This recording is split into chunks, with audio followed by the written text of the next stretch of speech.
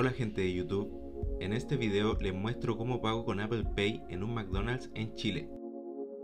Recordemos que Apple Pay es el sistema de pagos móviles que se incluye en los iPhone pero en este país aún no se encuentra habilitado. En esta ocasión compré un combo cuarto de libra agrandado, Coca-Cola sin azúcar para la dieta y lo agregamos a la orden. Confirmamos nuestro pedido, no vamos a agregar ningún producto extra y confirmamos que el pedido está correcto. Procedemos al pago, seleccionamos débito como forma de pago, en nuestro teléfono activamos Apple Pay, lo acercamos al lector y ya está. He pagado mi combo cuarto de libra con el iPhone.